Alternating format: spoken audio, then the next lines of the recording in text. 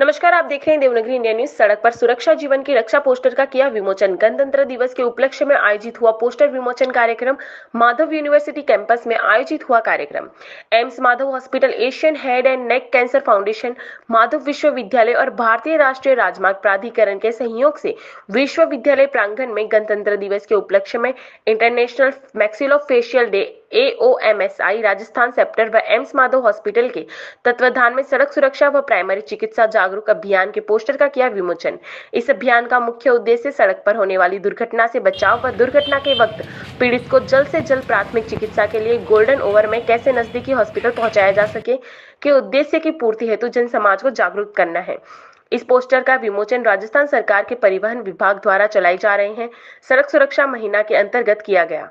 माधव विश्वविद्यालय व राष्ट्रीय सेवा योजना का इसमें पूर्ण सहयोग रहा।